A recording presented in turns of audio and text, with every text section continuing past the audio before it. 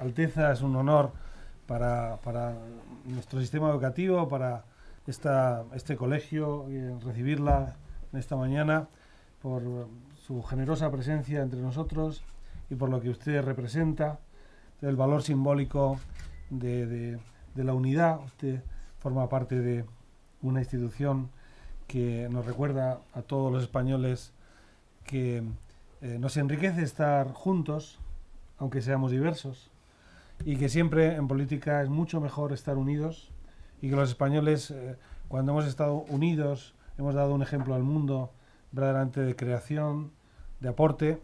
Eh, así que, eh, digamos, todo lo que usted nos trae esta mañana aquí es de un valor simbólico extraordinario que nosotros agradecemos.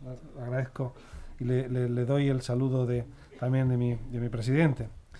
En fin, muchísimas gracias a la Fundación Mafre. Nosotros somos los que estamos agradecidos.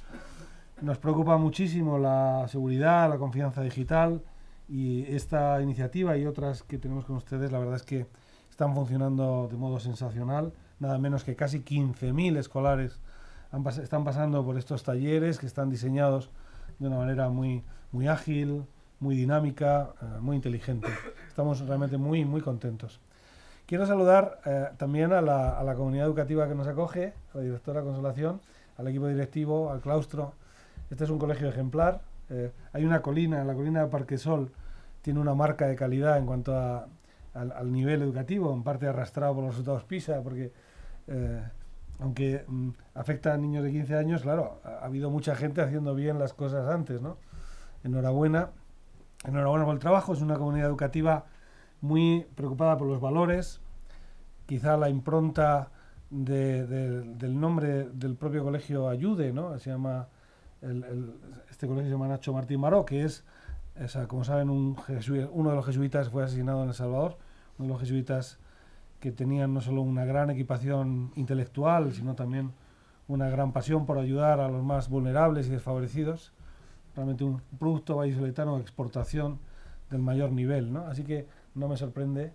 Le preguntaba antes a la, directora, ¿y qué trabaja? Dentro de los valores, pues esto de los valores es un mundo superpoblado, hay superpoblación, ¿cuál?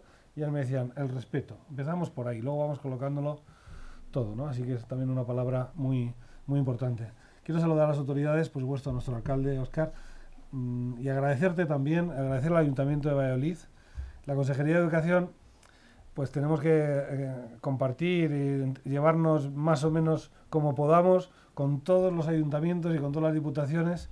Y debo decir que el Ayuntamiento de Valladolid es ejemplar, la colaboración con ellos es sensacional eh, y es un ayuntamiento totalmente comprometido e implicado con la educación. Es, es un gusto trabajar con ellos y, y, me, me, alegra poder reconocer en público el, el trabajo, la dedicación del alcalde, la concejala de educación y todo el equipo. Muchísimas gracias. Por supuesto, también quiero agradecer a la, Policía Nacional, con los que también trabajamos en estos y otros temas, eh, eh, siempre eh, em, ofreciendo un, ejemplo de, compromiso con la, comunidad a la, que, ustedes sirven. Debo, agradecerles encomiésticamente su labor, su papel. Cuando ustedes acuden a nuestras escuelas, a nuestros centros, sobre todo si van vestidos de uniforme, eso siempre impresiona a los niños. Nuestros escolares escuchan lo que tengan que decirles de una manera más atenta. No estoy seguro si es más atento cuando viene la Guardia Civil. No, lo sé. Ahí no quiero entrar en rivalidades, pero en cualquier caso, eso es algo que nuestros escolares jamás olvidan, ¿no? Van a, van a, van a, a recordar una interactuación con la fuerza del cuerpo de seguridad positiva, en fin, ¿no? Porque a veces asociamos a, control solo y qué va. También nos ayudan a orientar, ¿no? Y en fin, a todas las autoridades presentes, eh, qué gusto y qué honor. Nos preocupa mucho todo lo relativo al mundo digital, porque nuestros eh, alumnos eh, son digitales. No quiere decir que sepan todo del mundo digital, pero son digitales. Ellos captan la realidad digitalmente. Yo a veces digo, me, pregunto si somos de la misma especie.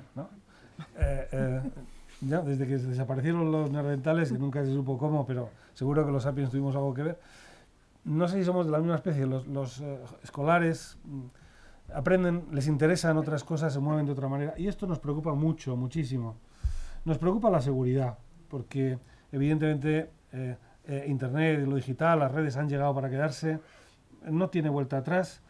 Y, yo creo que estamos, nuestra generación lo ha visto hace unos... Bueno, yo ya no me acuerdo cómo era la vida sin Internet, pero he vivido mucha vida sin Internet. Eh, eh, ha llegado, yo creo que ha llegado con tal potencia, ha irrumpido en nuestra vida cotidiana, en nuestra manera de relacionarnos, de comprender la realidad, que todavía estamos en las fases iniciales y ahora yo creo que llega a una segunda fase de, mayor madurez en la que tenemos que reflexionar y decir, bueno, esto que, que está aquí, que es inevitable, a ver cómo lo hacemos, ¿no? Esta idea de una especie de contrato parental, ¿eh? un contrato de los padres con los hijos.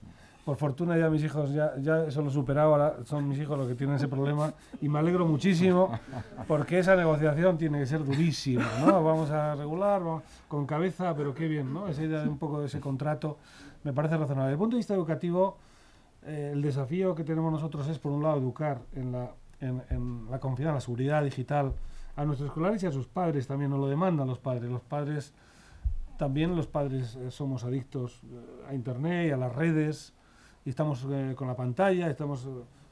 ¿no? Yo creo que dentro de 100 años el ser humano va a tener solo dedos, solo un dedo grande. Y esto también va a configurarnos biológicamente, no sé cómo pero también los padres eh, tenemos algunos problemas con, no sé si todos los padres, por lo menos mi equipo en la Consejería de Educación les aseguro que, que sí, porque estamos reunidos y estamos eh, todos ahí con el... No sé si digo, ¿hay, ¿hay, alguien escuchando? Porque estamos todos... Y creo que eso es algo que nos pasa, nos pasa a todos, ¿no? Claro, los, hay escolares que tienen síndrome de adicción, eh, si no tienen una zona wifi, lo pasan realmente mal. Esto lo vemos, escolares y también adultos. Pero tenemos que ir educando a, los escolares de abajo, esto es, es, clave, ¿no?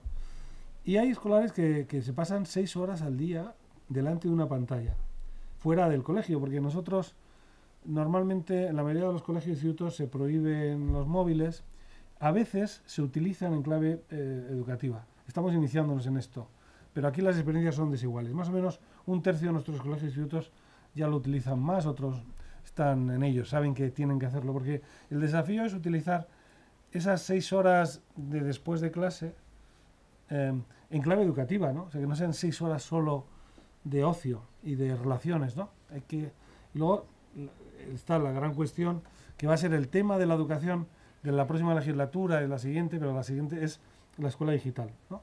Vamos a, ya hay un plan gubernamental con fondos europeos que va a conectar todas las escuelas de España eh, con a, toda velocidad, con una red anchísima, 100, 100 megas.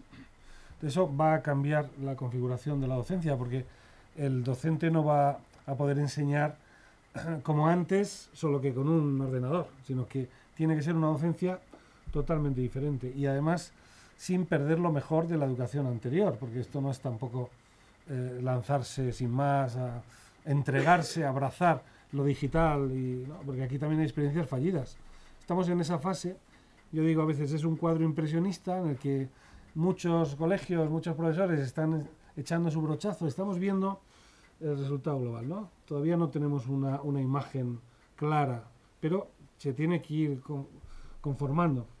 En todo este, por tanto, este es un tema verdaderamente central, eh, está en el corazón mismo de nuestro sistema, así que no puedo más que agradecer, agradecerle eh, Alteza de nuevo, eh, querido amigo Antonio, todos los esfuerzos que hacéis, a todos los miembros de la Fundación MAFRE, también a todas las personas de la comunidad educativa que estáis implicados en este, en este proyecto, porque es realmente básico para nuestros escolares. Muchísimas gracias.